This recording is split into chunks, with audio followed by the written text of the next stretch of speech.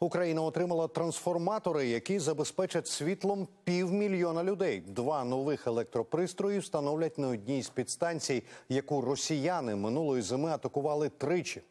Обладнання придбала та передала програма розвитку ООН в Україні та уряд Японії. У Міненерго зазначили, що ключовою ціллю держави-агресорки були саме трансформатори, для заміни яких потрібен час та кошти. Розтрощені трансформатори, побиті стовпи та обірвані лінії електропередач. Ця підстанція минулої зими була мішенню номер один для Росії. Ворог намагався занурити українців у суцільну темряву. Цей об'єкт намагалися знищити три рази. Е, Сюди прилетіло порядка семи ракет і дронів. Це досить потужні були удари. Тут було знищено дуже велику частину об'єкта. Після другої атаки я приїхав сюди буквально через годину-дві. І тут були просто жахливі руйнування. І, чесно кажучи, в той момент я думав про те, скільки ж нам треба буде часу, щоб включити світло. Попри значні руйнування, світло дали вже за кілька годин. Вже ввечері подали електрику.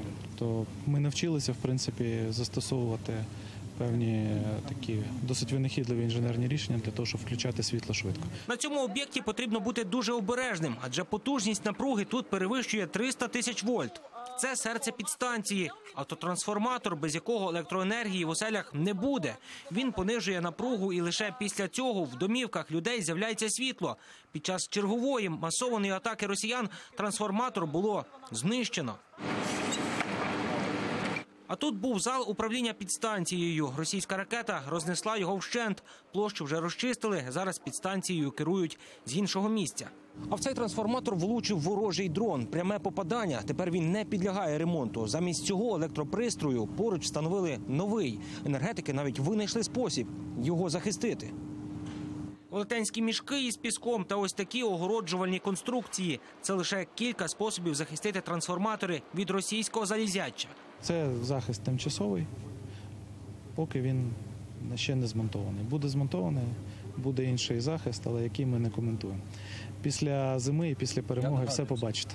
На цій підстанції замість знищених росіянами автотрансформаторів встановлять два нових. Їх придбали та передали завдяки програмі розвитку ООН в Україні й урядом Японії. У міністерстві енергетики запевняють, нове потужне обладнання забезпечить потреби півмільйона споживачів.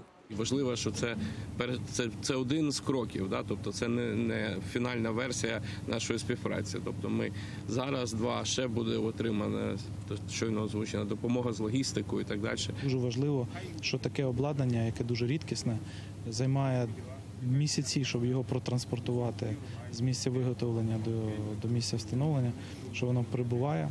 І це тільки один з прикладів. А у нас таких десятки. Посол Японії в Україні Мацуда Кунінорі запевнив, що його країна продовжить підтримувати українців. Особливо активно допомагають зараз перед опалювальним сезоном. Ми разом пройшли минулий опалювальний сезон разом з українськими енергетиками. І на початку нового опалювального сезону уряд Японії передає українській стороні два трансформатори. Ще два прийдуть до кінця цього року. Також за сприяння уряду Японії Україна отримає ще декілька трансформаторів через Румунію. У відновленні енергосектору Україну підтримує багато країн. Вдається закупити спеціалізоване обладнання, резервні електростанції, генератори різної потужності, прилади необхідні для швидкого відновлення роботи пошкоджених енергетичних об'єктів. З початку вторгнення, точніше, наша компанія, тільки Укренерго, змогла залучити більше одного мільярда доларів допомоги. Я можу сказати, що 95% тих того відновлення того обладнання, яке нам вдалося відновити, було здійснено або за кошти західних партнерів, або за допомогою гуманітарної гуманітарних поставок західних країн. Набагато збільшений в рази аварійний запас. е, Взагалі матеріалів, запчастин, е, і ми всього зараз прагнемо мати з величезним запасом для того, щоб якщо не дай Боже почнеться знову якісь почнуться обстріли, атаки на енергосистему, у нас все було під рукою.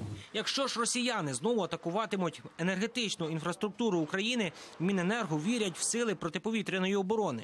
Найкращий захист це протиповітряна. Ну це найкращий захист. Ми бачимо, що насправді рівень захисту протиповітряної оборони він теж теж е, значно кращий. Які б не були атаки, світло все одно повернеться в домівки. І якщо раптом є якісь перерви в енергопостачанні через атаки, це означає тільки одне: що енергетики його вже лагодять, і е, енергосистема точно встоїть. У Міненергетики запевнили, план відновлення енергетичної системи України виконаний на 80%. Загалом за перший рік повномасштабного вторгнення росіяни 255 разів вдарили по об'єктах енергетики. Найбільше постраждали Донецька, Дніпропетровська та Київська області. Михайло Манилюк, Максим Чеблін, подробиці, телеканал Інтермарафон. Єдині новини.